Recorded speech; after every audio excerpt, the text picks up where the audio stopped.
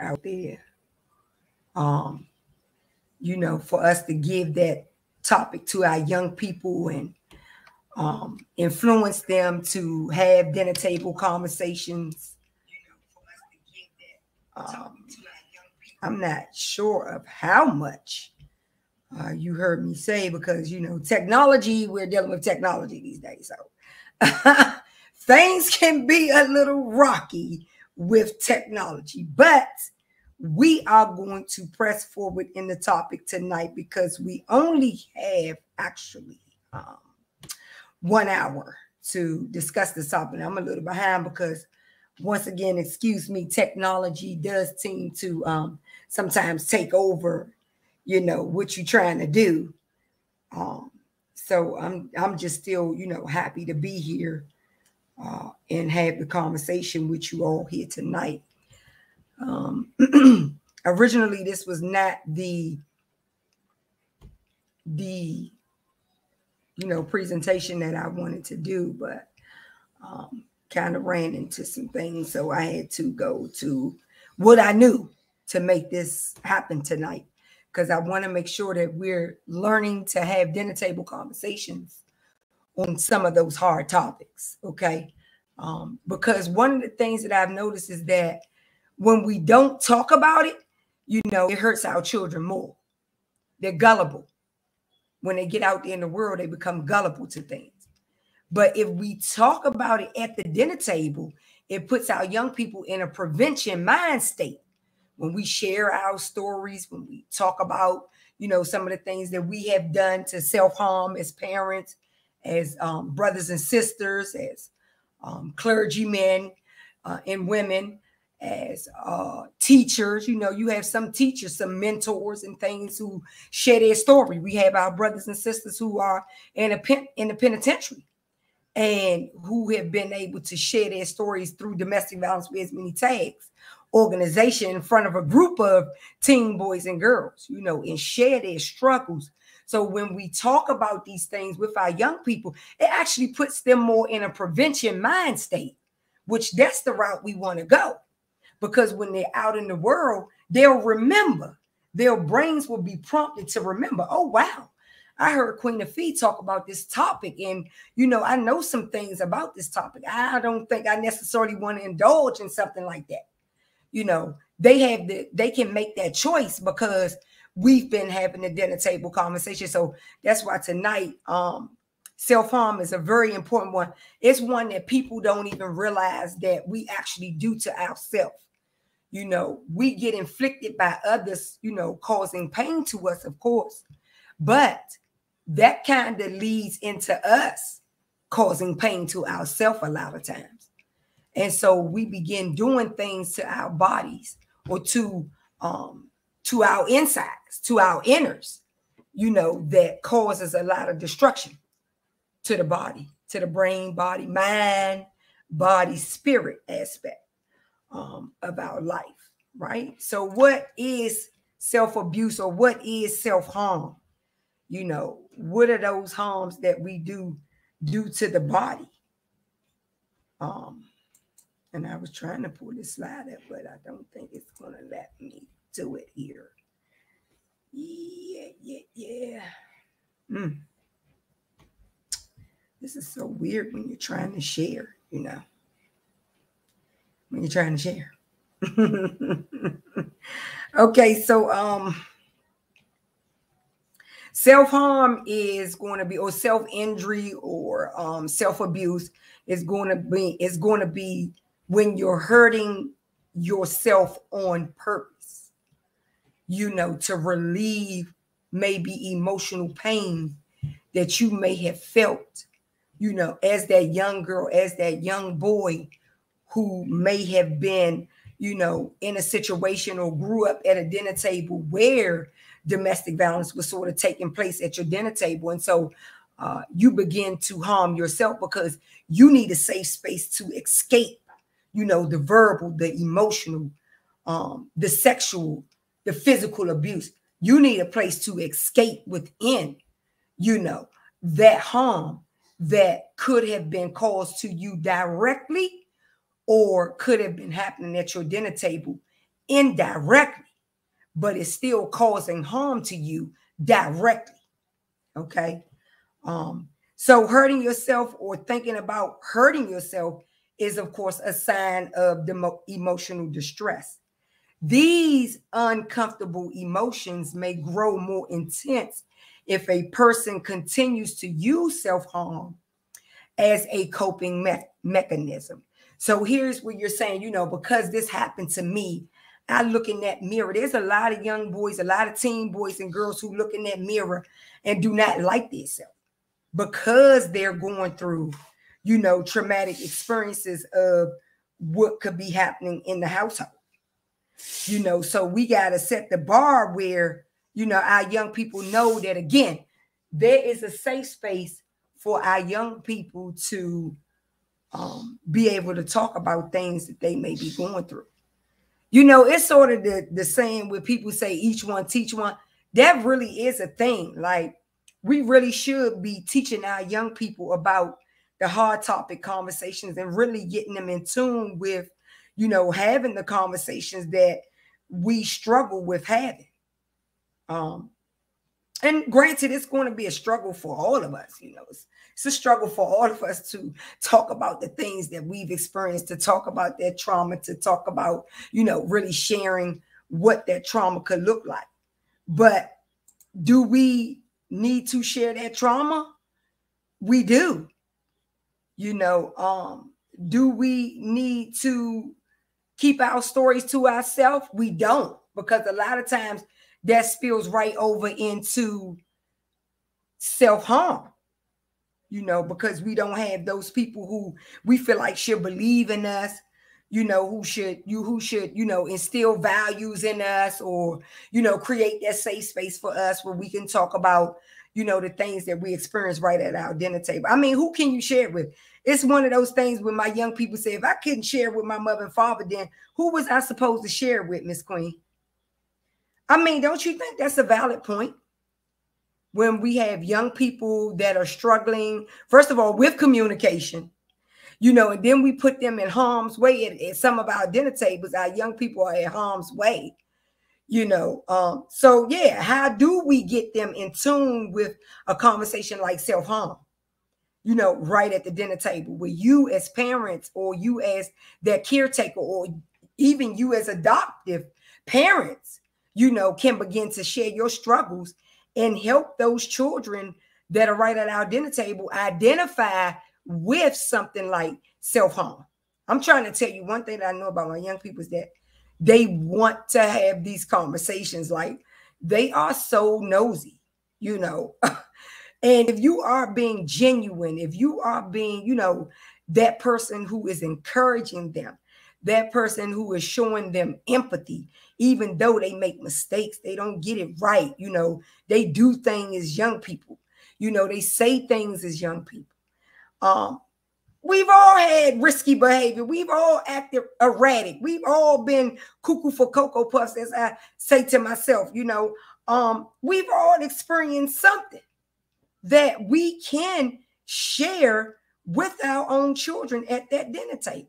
We just got to come out of the shame and the guilt you know, and and some of us in the pity parties and you know, still in the blaming stages of our traumatic experiences. And you know, we haven't gotten the therapy that we need to be able to really discuss our traumatic experiences with our young people at the dinner table. And so that young person is going to go and find an outlet to let out the emotional pain that they may be enduring right at our dinner tables. I mean, it's ridiculous to think that, you know, this young girl, this young boy would go out into the streets or, you know, go to an older man or older woman or um, go to drug addiction, alcohol addiction, um, to be able to let go of their feelings. Like it's alarming to think that. But we have a lot of young people who do go that route because they don't feel safe right at their own dinner tables. They feel like their dinner tables, you know, uh, traumatize them more. They feel like their dinner tables just don't understand. They feel like their dinner tables just don't hear them. They feel like their dinner tables are not compassionate. they feel like their dinner tables have forgotten where they came from. You know, and that's valid to say. That's valid to say, that's valid to see. You know, where we have a lot of young people who feel like, you know, how I'm going to talk to her or him? You know, every time I try to say something, it's little children ought to be seen and not heard. Every time I want to voice my opinion or, you know, speak my piece or share my story, it's little children ought to be seen and not heard. I mean, that's valid. Okay, so when you tell a child that, they take it personally. They take it personally. They really do. You may say, "Oh, they shouldn't take it as personally as they do, as they do," but they do take it personally. They don't understand, you know, you know, this person saying who's supposed to love me, who's supposed to care about me, you know, saying that I can't, you know, listen to you. I can't, you know, share with you. I can't be open with you, you know, because that's what the dinner table conversation is about. It's about talking about self harm, it's about talking about self abuse, you know, it's about talking about domestic violence, it's about talking about these things. And when we have our teens who, you know, boys and girls, uh, young women and young men who say, you know, Queen, I was cutting myself as a way to relieve that pain, uh, it hurts. It breaks my heart to hear my young people tell me that. But you know something though? I have a story that goes right along with what they're talking about. I have a story that follows up with that. I can relate to them, they can relate to me they open up more.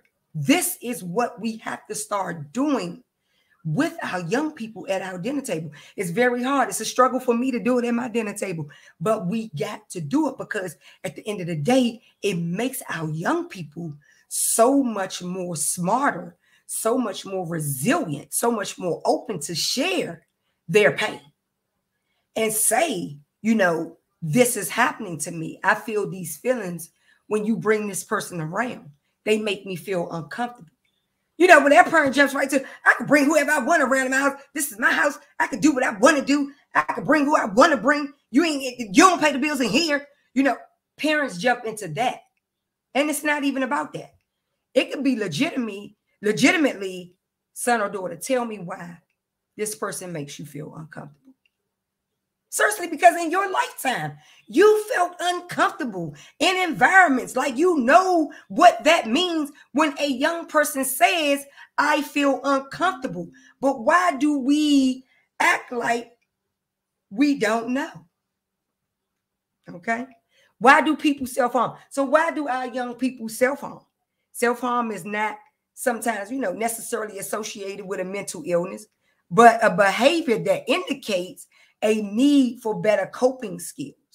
So if you know if if children if our young people are seeing you at the dinner table where you know you're still in traumatic situations, you're still in traumatic relationships, you know, you still have, you know, the hoorah hoorah going on in your life, um it makes our young people scared. You know, um and nobody is not talking to them. Nobody is not relating to our young people and you know what they're feeling. And so you know to say to a young person oh you're not really hurt. You're just seeking attention. Really?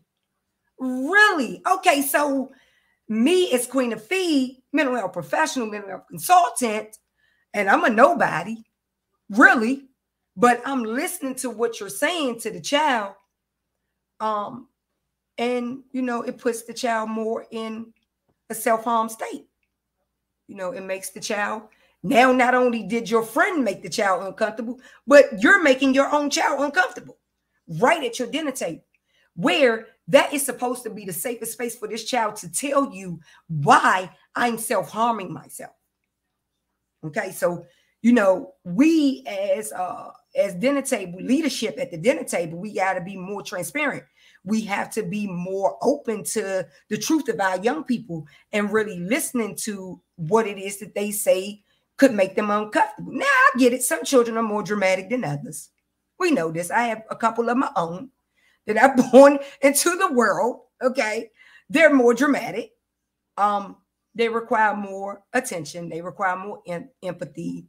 they require more encouragement. It doesn't mean that they're seeking attention.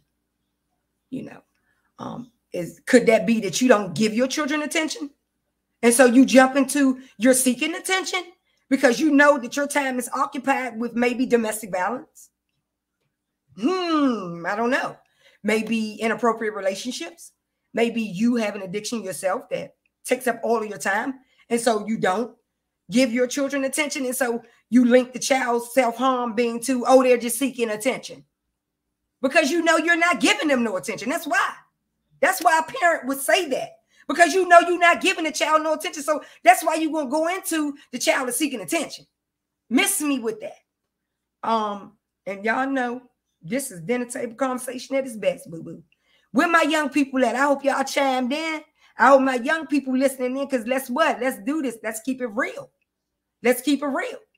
I hear parents say all the time, oh, he was she was seeking attention. And this child is saying, I'm really not seeking attention, Miss Queen. This person really makes me feel uncomfortable when they come around. I feel like he or she look at me in certain kind of ways that I feel like is inappropriate to me. Really? Okay, well, tell me why do you feel like that? Tell me more of why you feel like that. You know, and then the child goes into why I feel like this. And then the child, and then I say, well, you know, what are you doing to cope with what you're feeling? Because, you know, mommy and daddy may not be tuned into what you're actually feeling. Well, you know, I keep liquor bottles under my bed, or, you know, I drink. I take a few drinks. I go to their bar and steal their liquor and I drink, you know, or I make sure I have razors on me because I cut my arms, I cut my legs. Queen, I cut in places where they can't see you know, where I can still wear my long sleeve shirts and my shorts. So, um, where are you cutting? I mean, where are you cutting? See, and the child may say, you know, after things, you know, have healed, they may say, oh, my cat scratched me, or, you know, I got into a little play fight with this one and that, and we got the scratching and all. And a whole time, it could be the child really self harming themselves. You know, it could be really self-harm, but if we not talking to our young people about self-harm, how are they gonna know what they doing though? How they gonna really know that what they're actually doing to themselves if we don't have dinner table conversations like this with our young people? Nicole, sis, what you say? You said some of our kids have parents who are not as supportive as we. True, that's what we're talking about We're talking about, you know, parents who, you know, have those stories, sis, but don't actually know how to share the stories with their own children because they think if they share the stories with their children, it will lead them lead, lead the children as the potential to lead the children down those dark paths. But I'm saying to our parents tonight, that's not the case. What it does is it puts the child in more of a prevention mindset. And so that when they are experiencing things, when they do get out there into the world, they're able to make a decision. You know what? I've had this dinner table conversation before, and like, this doesn't lead anywhere good. Like, maybe I should talk to somebody. Like, maybe I should try to talk with somebody. That's the route that we want to go, you know, that will help our young people get into the prevention mindset as opposed to you know parents thinking that they're telling their children something that could harm them and i understand you know you want to protect your children you want to you know give them the best and you you want to you know you know look perfect in their eyesight. You know you don't want to look like you have any flaws as a parent. You know you're born this beautiful life into the world. But let me tell you something about my young people. Let me tell you something about my young people okay? They want to know what mommy and daddy, with those caretakers, with my adoptive parents, they want to know. With my same sex parents, they want to know what you've been through. And they literally have the right to know what you've been through. Because after all, who am I really sitting at the dinner table with? Who are these people? and they're watching things on TV, so they see things come across the media, you know, um, so they see violence there, so they know that violence is in the world. They're seeing things at school, you know, even in daycare, I saw things, you know, so we got to, you know, find the strength in our hearts to begin to share our, you know, our secrets, those scandals and secrets and stuff with our young people because I'm telling you, I promise you, it's going to put them more in a prevention state. And this is where we want them to go. This is what we want their brains to start processing that they can actually say, wow. They can have that moment and say, wow, like I'm at a whole fret party. And like, you know, I'm not, I'm I may have a drink or two, queen, but I'm not putting my cup down. You see, because I know that people are around here dropping, you know, date rape drugs, drugs in, you know, our cups or whatever. We've had instances with this happening on our on our campus. You know, so we want to make sure that we're opening up and sharing with them. You know, some of our parents that were college students experienced, you know, the date rape, the date rape drug right there on the campus. And your child goes to college and you, you do not share these things with them. But these are the things I promise you that they want to know. Um, sis, what you say? You say, um, I think had my mother had those conversations with me, I would have been better prepared. I agree. You would have been much better prepared. Um, and my mom is saying, I told you about me and your dad, and you did. And you did. And you know, the one thing that helped me, you know, with my self-harming is that you did share those things with me, you know. Um, and I was able to ask questions. Like I was able to ask questions. That's the good thing. Like the child is able to sit there and ask those hard questions, like those deep, you know, spicy, nosy questions that is helping their brains identify with what mommy and daddy or with with what our caretakers or with what our adoptive parents, our same-sex parents are sharing. It's amazing to have our young people open up and tell us and ask these questions that are just amazing. And the other thing about that is that they go through these levels. You know, the brain goes through certain cycles. And so mm-hmm. those conversations get more in depth and the questions get more detailed. You know, the child really wants to feel like, like mommy is like, oh my God, like she tells me everything. Like my mom tells me everything. You see what I mean? That young boy, that young boy, that young girl really want to feel like my mom and dad tells me everything. Like they literally don't hide nothing from me. This is great. This is perfect. This is what I want. This is what I want for your dinner tables. This is this will help me in my work. I can kind of take a back seat because we're actually having these dinner table conversations that, you know, clergy can't help us have. You know, everything, every mentor can't stop what they're doing and come to your dinner table. Every therapist, every psychologist cannot stop what they're doing, come to your dinner table and help you. Your spiritual mother and father cannot stop what they're doing and come and help you. You know, you have to be leadership at your own dinner table. You did that. You did that. And yes, it's okay to reach out for help and, you know, reach out to professionals, not your family. Reach out to professional people that you feel like are, you know, truthful, honest, and fair, who can help you discern and get the conversation started at your own dinner table. This, this is going to be amazing. This is what we want for our young people. We want to know why our young people, why do they self-harm? We want to know this. March is, of course, um, self-harm awareness month. And so, you know, I've been having this conversation since 2012 um, about this because it really is something that we need to talk about with our young people because they really do be self-harming. Quiet, I'm on here. They really do self-harm. So we want to make sure that we're having those tough conversations with them, but that it's a space where they feel enlightened, they feel safe, they feel encouraged, they feel empathy, they feel guidance, they feel, you know, structured, they feel like it's okay. You know, it's okay that I've done this, you know, and here's how we're going to work through it, son or daughter, to get you up to a space where you're feeling good about yourself.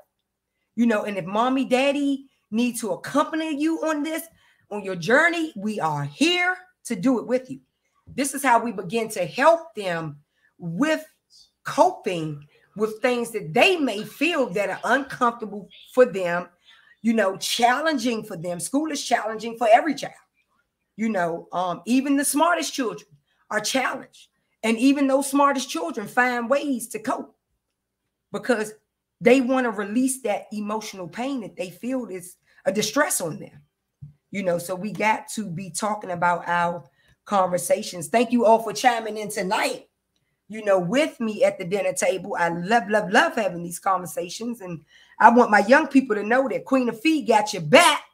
You know, I'm, I'm gonna put it out there for my young people to say, oh my, she's talking about something here.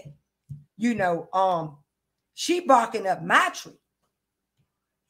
The question was why people self-harm. Why do our young people self-harm? That was the question. The urge to hurt yourself may start with um, anger. It may start with overwhelming anger. It may start with frustration. It can start with the emotional pain. You know, when a person is not sure how to deal with emotions or learn as a child to hide the emotions, which is where we go back to little children ought to be seen and not heard. Right when you prompt them with that, they begin to hide their emotions because they feel unfelt. They feel unatoned. They feel emotionally neglected. They feel hurt behind that. And this is um, you know, things that people have said at the dinner table for years and years and years and years. They have said this, and it has traumatized every single generation who have come up with little children ought to be seen and not heard. It has traumatized every single boy and girl who have come up with this saying at their dinner table. It's inappropriate, it's unacceptable, and it really does not encourage our young people to open up and want to share with you. And so when their best friend's mother knows stuff about your own child that you should know, remember that you said Little children ought to be seen and not heard. Remember, you said that. And this is why you're oblivious to what your child is going through. But your child, best friend, mother, or father knows everything because the child feels felt there. The child feels atoned there. The child feels like their feelings are valid there. You know, sometimes injuring yourself stimulates the body's um, euphorians or pain killing hormones um, thus rising their mood. Sometimes, you know, it, it, it releases, you know, dopamine to the brain for that young child. You know, they get that rush of, whoa, wait, you know, when you get your rush when you drink or when you, you know, when you smoke or whatever it is that you do, you get that little rush. That's the same thing that self harming could do for our young people as well, which can make it more addictive which makes it more addictive when it gives you that rush to the brain like that. Um, and then in, in that moment, you know, the question then becomes, well, how long has my child been doing this? You know, because now it's in a place where it's addictive, you know, and the brain is constantly seeking that rush. Um, so, you know, we got to be very, very, very careful about the things that we say because verbal abuse is the number one way the number one way. Verbal and emotional abuse, the two of those slides go together. Two of those tags go together. I say slides because I teach it. So, but the two of those tags go together. You cannot have one without the other. Verbal abuse and emotional abuse is vicious to any child even in the womb. And research is starting to show that our young people are affected in the womb by the verbal and the emotional abuse, by that domestic violence setting, by untreated mental illness. Our children are affected in the womb, guys. You know, research. Call me out on it. Call my bluff. You think I'm lying or I don't know what I'm talking about. Call me out on it. I take that. Self harm isn't the same as attempting suicide. However, it is a symptom of emotional pain that should be taken very seriously. If someone is hurting themselves, they may be at an increased risk of feeling suicide, feeling suicidal. So initially, it may not start out as, you know, suicide. Like when we took that first initial puff of the blunt, you know, it was recreation. They say it's recreation, you know. They say it's good for the soul. They say that uh, you know, marijuana manages the the uh your anger. I hear people say they smoke marijuana to, to manage their anger. That's what my young people tell me. And um marijuana is really a depressant, you know. And if the child is already depressed, we don't want them smoking marijuana because then they're gonna be more depressed and they're gonna be suicidal. If they using PCP, if they using uh crack cocaine or cocaine, if they using alcohol, if they using K2, you know, these things, a lot of them are depressants. And so we we want to bring that young boy, that young girl out of depressed state. We don't want to seep them into depressed state where they become suicidal. So their self-harm now turns into suicidal. And so now, yes, I've been cutting myself just to get blood, just to release a little pain. But now I'm going to cut deeper because I want to die at this point. I mean, to sit here and think, to sit here and think of our young people cutting themselves to bleed profusely to die when their life is just begun. man, oh man. I get emotional behind it. I get very emotional behind it because every child deserves an opportunity to flourish, to grow, to be happy, to be them true selves. You know, um, I heard it said once that uh, a mother's child was murdered, you know, um, and she didn't get to love him because he was coming out of the closet. You know, um, he was coming out of the closet. And so he was in, you know, in some very dark, deep, dark spaces, you know, because it's like if mama don't love you, who don't love you? You know. And she regretted that. She regretted those feelings. You know, she said, I wish, I wish, I wish I could take it back. I wish I could take it back. I would do this all over again. I would not put my son in a position where he felt like I didn't love him. I didn't care about him. I didn't want his happiness. See, I mean, when a parent have to go into that state, and trust me, I know that state very well. I know that state very well. When we have to go into that state, it is truly not a good space because now the parent could potentially go into a self-harming phase. So, you know, it's it's like a ripple effect when these things happen to us. We must talk at the dinner table. We must talk about it. And I think about, I think I was maybe, and my mom knows, maybe I was around I guess maybe 14 or whatever. I'm in love. I, you know, I love this person. They don't really care about me. You know, we think when we're young and in love, it's the end of the world, honey. It's only one, and I'm gonna be with this one. I'm never gonna have another one. I believe I took a whole handful of pills. I tried to kill myself. This is something that I really shared uh, because my testimony is so Jesus Christ. Hallelujah. Thank the Lord. Praise him. Okay. Because my testimony is so long and I'm so young, but my testimony is so deep. And you know, when you when you come into a healing space and the yellow brick road, the healing is long, sisters and brothers. Y'all hear me say that all the time. That yellow brick road, the healing is long. I mean, we gonna be forever healing. And the good thing about you know, you know, therapy and you know your prayer closets with God or your faith base is that it, it starts to reveal things to you. you know, and you chime into that piece, say, dang, I did try to commit so I did. I was I was doing the steps in my in my childhood house, my fourth street house at the time. And uh, yeah, I believe I took a whole handful of pills. I think I wanted to die. I think I did want to die. I was, you know, trying to kill myself because I wanted him to be with me and like me and love me, you know. And um real love doesn't work like that. Real love takes time.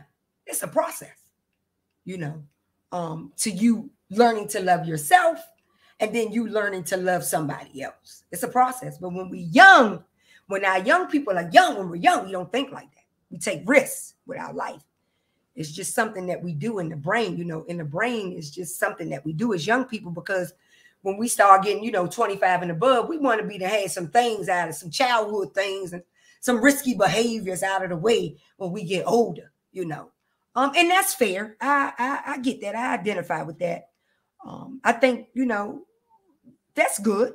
But I also think that, you know, in the midst of our young people being young adolescents, that we still got to have these conversations with them to help them get into a prevention mind state so that they don't, you know, that young girl know that, you know, she's going to come out of this and that love really is a process you know um and that is what my mom had to tell me. I don't know what she told me because i was out. I know i probably scared the dog mess out of my mother and father sitting up here and took a whole handful of pills. I don't even know if my mom even remembers this.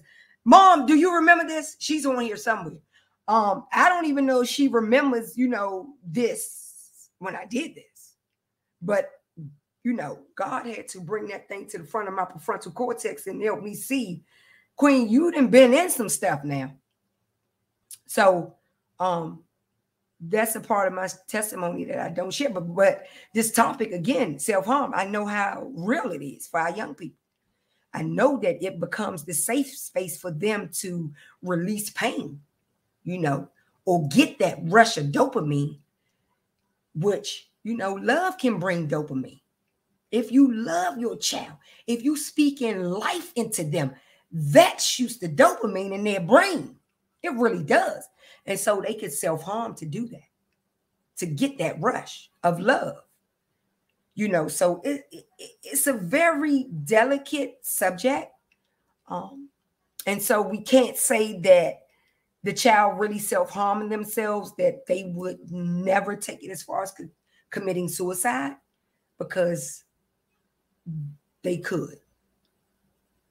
Oh, my mom said, yeah, and it almost killed me. Right, exactly. That's what I'm saying. Like, I know I probably almost, you know, I made my mom and dad probably terrified. Like Pastor Gaston was on that jump part, like, what the world, Jesus? Get my daughter, because I don't know what's going on with her. Like, you need to wrap your loving arms around that girl. Hallelujah. Thank you, Lord. Yeah, see, um, I ain't about the 50 plan out here. You know, my mom is here confirming that my story is true. You know, um, but this is why I love to share. This is why I love to share with you guys. Like, this is why I love all of you. I love all of you so much who chime into domestic violence Wears Many Tags organization over the last 14 years. You've been chiming in with us as we've been, you know, remote. We've been in person you know, um, doing and having these dinner table conversations and trying to just, you know, bring new perspectives and have everyone create a safe space right in the home. Right in the home. We need to create our safe spaces right in the home. Um, treatment and coping with self harm for our young people. Um, you know, there is effective treatments for self harm that can allow a person to feel, you know, more in the center of their self, more, more affectionate towards themselves, um, more loving towards themselves. So there is that part of it where, um, you know, we can kind of get a rally around that young person and really share those stories. I I, I realized that you know, because I've done sister circles in people's houses, in their basements, in their living rooms, in their backyards. And we've had our young girls there, including my daughter at the time, um, talking about these conversations. And I and I realized that when we rally around them as older women, as you know, sisters who have been through something, they really get it. Like it, it feels like they have a ton of bricks lifted off their shoulder to know that I'm not alone. To have that young man know that I'm not alone. And it's unfortunate, it's a lot of our young men who self-harm who feel alone. And you know, research is saying that our young men commit more suicides, you know, because they don't have the safe space. They really don't have other men who rally around them and talk about these kind of topics like self-harm with our young men. I will. I'll do it. I do it with my children. I do it with my sons all day. I will. We got to stop making differences in the conversation. We have to talk to our young boys and we have to get them included in the conversation. We have to encourage them to share their feelings because otherwise we create a beast. We create a monster. We create a young man who is prone to getting out there and, and potentially committing suicide. And I mean, if you don't want your daughter to commit suicide, you don't want your son committing suicide either. It hurts. It flat out hurts to have our children feeling alone and killing themselves right while we in the bedroom sleeping or we work too much. We work too much. We got too many devices going on, or we got too many other little children, so we can't get to our teenage children. You know, uh, we got to we got to do better. We got to prioritize better, and I'm with it. I ain't saying nothing that I ain't don't need myself because I don't come on here 50 playing with nobody. My mom said, yes, he did. My dad went to the church and had and prayed for me, and the church prayed for me. And look where you're at now. Well, bless your heart, mom. Thank you so much you know, you and my dad for saying something, I guess. I mean, doing something that you felt was right, that you felt could help me. But I tell you, the main thing that helped me at my dinner table was being able to see my mom just, you know, say, You're beautiful. You know, for my mom to continue to tell me those things. You know, you will make it through this. My dad tell me you will make it through this. You know, and we are right here to support you. They never said you got to get through this. You got to get over this. You got to, got to, got to do this and you got to do that. They never said those things to me. See, that's why we need to know the words that we say out of our mouth. We need to know compassion. We need to speak with empathy. They say you will get through this. We will support you getting through this. You're not by yourself. These are the things that we have got to tell our young people who are struggling and some of us, we see them struggling. We know they struggling with who they are, their identity. At that age, you're struggling with your identity. You're struggling with your body. You're struggling with your hair. You're struggling with your nose, your lips, your eyes. You're struggling. Just as a young teen and all the, you know, the hormones and things that are changing in our bodies and in our brains. We're struggling there. And then we got to go to school. And then we got households that are corrupt that teaches us nothing about our identity and who we are. You know, teaches us nothing about our DNA and where we come from. And I'm not talking about Dr. King and Harriet Tubman DNA. I'm talking about your DNA, that egg and that sperm that born you in the world. We don't talk about that with our young people.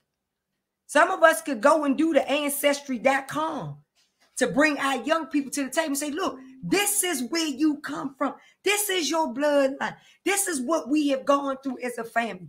These are the medical things that we struggle with. A lot of young people don't know, you know, if their grandparents had mental illnesses or not. They don't know why they stress is seep into these deep, deep, dark spaces because we don't tell our young people about their history of predisposition to mental illnesses, to those suicide, to schizophrenia, to PTSD. And of course, PTSD is going to really trail with trauma. We don't talk about that. You know, we just say, uh, it'll work itself out in due time. You just keep on praying to the Lord. Come on over and let me lay hands on your child and rebuke them demons out of them. Man, miss me with that. Miss me with that situation right there. When we talk about our young people, we got to do better at being more transparent. Your story, your PTSD that you got will save your child from a life of PTSD. PTSD don't require all these medications. It requires us to talk and open up and share so we can save our children. After all, you wanted the baby, you had him or her. Why not be honest and real and open and truthful with this baby? This is what we take on when we become responsible for young people, for children. Whether we adopt them or not, we become responsible for giving them their identity. Come on now, work with me. I know. I know. It's it's crazy. I know. I know, Queen Afi. You need to go ahead on about your business. Like them tape conversation get ready to be over five minutes. Yes, it is. and I'm gonna use every single bit of my five minutes to advocate for my young people out there that I know are struggling with self-harm. So what objects can be used? It could be the razor, you know, it could be multiple razors. It could be, it could be, you know, alcohol. It could be, you know, how child drinks a lot. It could be marijuana, uh, K2, some of the, you know, PCP, some of the things that our young people are indulging in to help with their pain. Um, you know, so it could be that. Um, it could be uh you know, where they have uh they get they have like sort of a strategy of hanging themselves. See what I mean? We have some children who know how to wrap a belt around their neck, attach it to something, and knock themselves out and be able to bring themselves back. Hmm, Queen Afi, we never thought about that one there. I know. Um, they think of so many things you know. And then you have things like TikTok and, you know, uh, Instagram and all these other places who teaches our children how to commit suicide and do self harm, literally. Um, some of our children punch walls and punch punch their fists, break their hands and break their bones intentionally to feel that pain, to release that pain or feel that pain.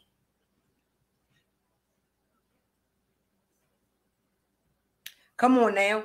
Sis, what you say? The wire out of the bread tie. Come on now.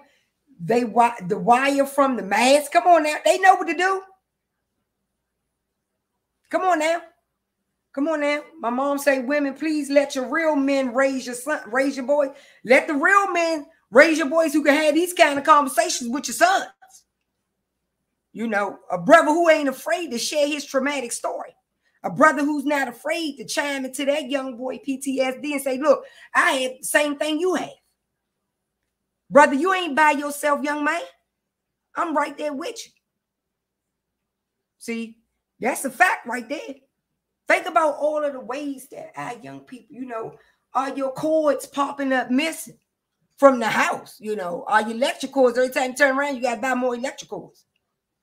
Could that be a way that our young person could be self-harming themselves. And one of them times they put that cord around their neck or that rope around their neck, they're gonna time out. They're gonna time themselves right on out. They're gonna do the countdown. And you won't get the news later on. And you're gonna be saying, why what what what what what what what, what, what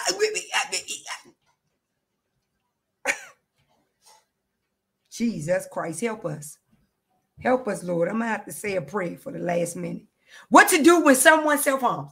Perhaps you have noticed um, a friend or family member that frequently um, bruises or where you know got bruises on them or bandages. You see a lot of band-aids or you know a lot of wraps. You got you got gauze in your house for some reason. Like, and this child constantly saying, "Can you get some gauze?"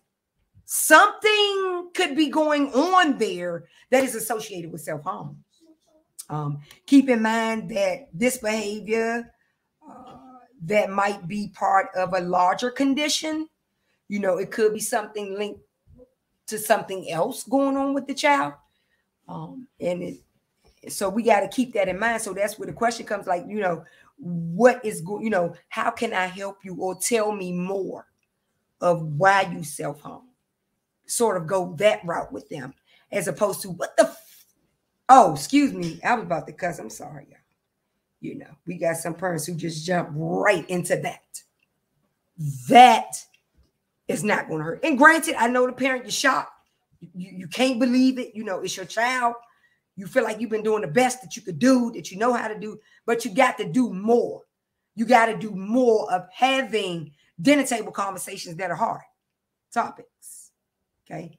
Uh, they may make statements that sound hopeless or worthless you know, have poor impulse control or have difficulty getting along with others. So it can definitely definitely look like anger as well. Okay. Um, and uh, this has come from the National Alliance of Mental Illnesses, which I really like them because they um, sort of keep it real, like me. so you can go there and you know kind of pick up some more information for that young person uh, or you as a parent, you may may see some things. You know, this may have woke you up as a caretaker, as a adoptive mother and father, as mentors, as you know, um, uh, clergy. You know, faith based. This may have opened you up more. You say, well. I want to tap in a little more and try to get more information. Go to the uh, National Alliance for mental illnesses. They have some really good things on their uh, website to continue to help us get better at having these hard topic conversations. Um, so I want us to really, really do that um, when we see things, because a lot of us are grandparents. You know, um, the grandparents are getting younger. You know, we want to do our thing. Like, I want to go to the party. Like, I don't want to watch Blake, but guess what? I got to pull over skirt, chime into Blake, and make sure that she's okay too on this journey. So some of us have our grandchildren that we have in the household with us as well. You know, we've got to make sure that they're okay as well. We've got to make sure that we be transparent with them too. You know, uh, we got to, uh, you know, be sure that we are open. Some of us are great grandparents who are having to do this job to be parents all over again. I know it's hard. I know it's a struggle. I know, you know, we're older and we don't want to do this again, but you know, we have to do it and we have to always have these conversations with our children, with our grandchildren, with our great grandchildren, you know, as aunties, as uncles, you know, as sisters and brothers. We got to have these conversations with our young people because this puts them in a prevention mindset by us having these conversations, it links us to a prevention mindset in our young people so that when they do get out in the world and they're experiencing things, they're going to remember these topics that we had at the dinner table with them. They're going to remember this. I assure you, they are going to remember this. Now, back in your time, there wasn't no Queen Afis having no dinner table conversations. Okay. So it's different now. We we are talking more about domestic violence. We're talking more about mental health. We're talking more about mental illness. And I'm going to continue to talk about the hard topics because I know that it's something that we struggle with. And we struggle with it in many environments the workplace, the household, the spiritual communities. We struggle with having these conversations with our young people. You know, I challenged my church home one time. I said, you know what? Let's have an angry meeting. Let's have a angry meeting. Okay? Let's let's hear what everybody is going through. Let's just listen. Let's get a circle of cheers and invite people out to the angry meeting. How about we do that? You know they bypassed me. They didn't want to have that conversation. They didn't want to do no angry meeting. We ain't about to do that. Why? These are the conversations that our young people need to have. These are the conversations that our young people need to know. Our young people need to be able to chime into their faith-based spaces and say, look, I need y'all to come on, come together. Let's get a support circle going on here for self-harm. We need to be talking about self-harm in March. Because like our young people are experiencing this and they are right at they're in ministry, they're in college, they're at the house with you, they're high school, they're middle school, they're elementary. And heck, I wouldn't put it past under two to five. I wouldn't put it past that. I wouldn't put it past because our young people are seeing so much negativity. They're seeing so much negativity out in this world. They seeing it all the time and hearing it all the time and living in it all the time, and they don't have nothing positive. Nobody is saying, let's deal with the anger that our young people are facing here. Let's just have a, a, a slew of meetings where our young people can set it up and just get angry. And we are here, like my mom and dad said to me, we're going to support you. You will get over this. You will be okay. I'm so glad we have. I'm, I guarantee you, our young people will have a fabulous time releasing in a safe space their frustration and agony. Okay, mom, you said what? Great grandma, you you are so wonderful, and I thank you. No, you're a great grandma. Uh-uh, I'm not no great grandmama. You're a great grandma. Hold on there, baby. Watch out. Okay. Um, I want to thank everybody for chiming in tonight. We got sort of off to a late start. We started around 8 10 or so. So I'm still on time right now. I wanted to do a complete hour of this conversation for our young people that are out there who are listening in, and our mom and dads, and all of the dinner tables that are chiming in with me tonight. This is so wonderful. I feel so great. I wanted to cry a couple of times, but I kind of held back my tears to get through this important conversation um, for all of us tonight. Um, I want you to um, really chime in, you know, and you can read on again the National Alliance for Mental Illnesses. You can just go there and read up, you know, on things that you want to talk about at your dinner table with our young people. You know, just pick a topic, throw it out there, you know, and say, look, we're going to cook some dinner and we're gonna sit down and the dinner table can go on the road with you. It can go to McDonald's with you, Chick-fil-A with you, it can go in the household with you. You know, it can travel with you because we want to make sure that we're always keeping our young people in a prevention mind state so that when they're faced with traumatic things and tragedies in their life, they're going to remember these conversations. I promise you that. Okay. So if someone wants to chime into me, serious inquiries only. You can do that. Um, of course, you see my information down here. You can go to um, the Google search and just type in DVWMT, um, and everything about domestic violence wears many tags organization will come up. Um, you can reach out to me at 202-821-8933. Um, serious inquiries only. If you feel like, you know, you need to know more. You un, you know you heard some things that you want to chime into um, or you know if some things you have more questions you're not really sure chime in. Nobody has to know that you're chiming in and taking care of your dinner table. You can do this and nobody has to be in your business because people need to start really minding their business. And i do mean literally minding their own business at their own dinner tables and getting our young people into a prevention mind state that takes a lot of focus, a lot of time, a lot of communication, effective communication, a lot of support. You know, we don't have to send our children out to these vast programs. We don't. We can prepare them right at our dinner tables.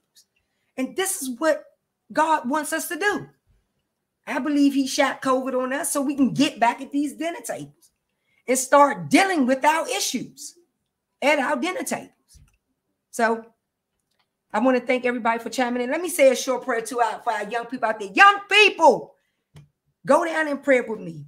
Lord God, I want you to touch every young person, Father, who may be experiencing self harm, Father God, who feel like they are alone, Lord God, who feel like they don't understand what they're going through, Lord God, who feel lost inside, Lord God, who feel like suicidal or homicidal, Lord God. I want you to wrap your arms around them, Lord. I want you to comfort them. I want you to rock them, Lord God. But I also want you to send somebody who can be an inspiration to them, who will share their story, Lord God, who will say, I heard a conversation with Queen of I had dinner table conversation last night.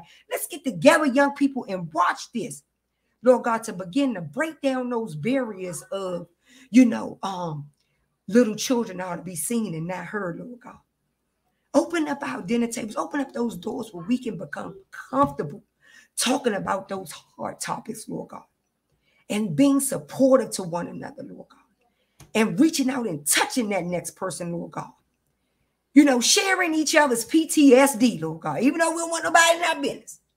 But we are obligated to share it with our young people that are at our dinner tables, Lord God. Touch my mothers and fathers out there, Lord God, who are struggling to have these conversations, Father God. Touch them, Lord.